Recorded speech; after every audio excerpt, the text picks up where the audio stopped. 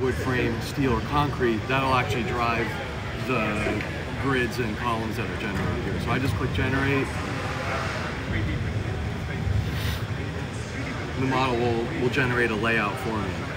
And so if I go into the floor plan, you can see I have a I have a grid here placed, and these spaces are tagged as actual real units.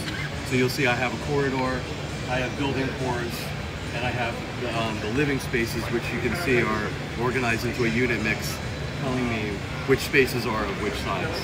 Um, but I have full editability, so if these cores don't really make sense, or I don't really want to have a core in the middle, I can just delete that space, modify the walls. So the whole idea is that, yes, we're generating, but we're also giving the user full control um, over the design ultimately is theirs, right? So we have a combination of layouts that can be automatically generated, as well as full control over that design.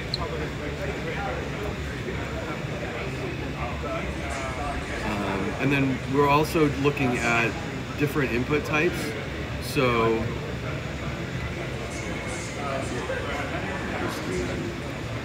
um, in, in, in, addition to just like the model being the context, we can also use the um, Autodesk Assistant as a prompt to help guide the design.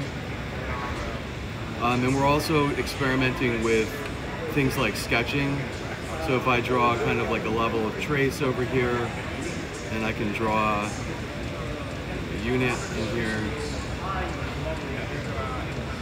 And the model's going to interpret that as a core. But if I just say generate a new layout,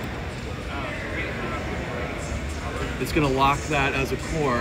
And then the Autodesk Assistant is going to interpret my prompt, use that locked element as context, and then generate a new layout around that. So the idea we're moving towards here is the idea of sketching as an input as well to help guide the AI. So what? So the, the, the assistant is making a plan based off of the context and my prompt that it's going to then execute on that plan using our model as to be able to fill in the spaces that are um, to be generated there. This will take another 20 seconds. So it's using generative AI to complete the new layout with proper spaces and circulation.